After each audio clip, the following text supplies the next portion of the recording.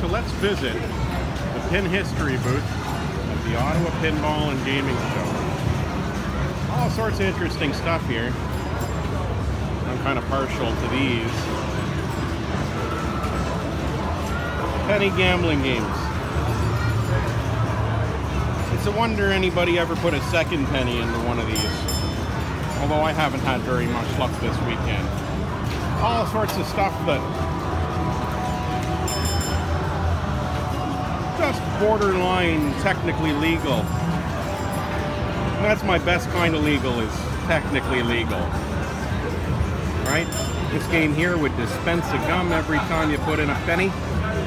The whole dice rolling thing was completely incidental to the entire enterprise.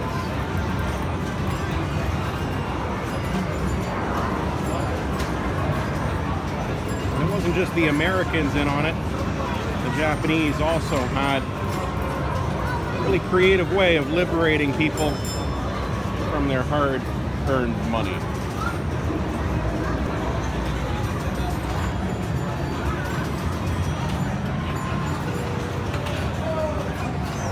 All sorts of fun history here.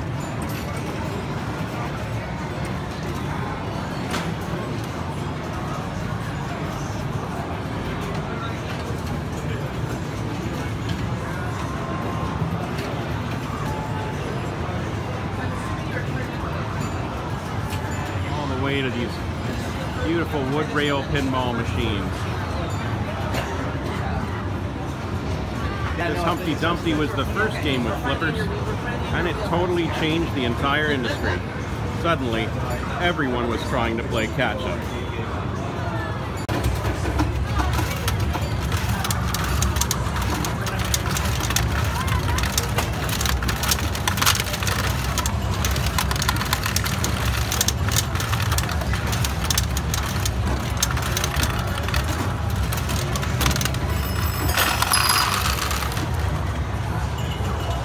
A win at Pachinko.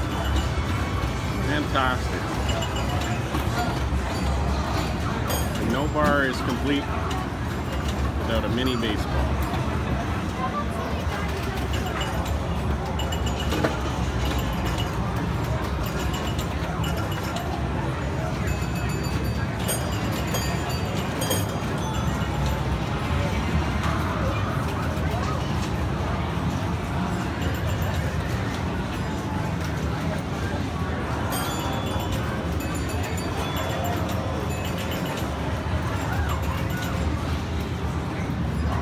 It's great that the Japanese have made the pachinko a little easier to play. With these ones, you had to take a single ball at a time, insert it in the machine, and make your shot. You could be waiting a long time for a payout.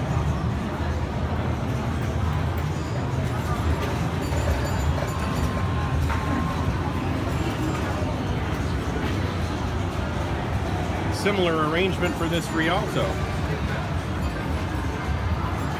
Based on the Whizball games. This. Insert your coin in the side. Game lights up.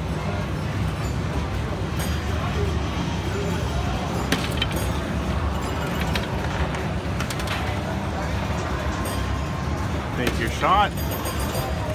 And we get three in a row.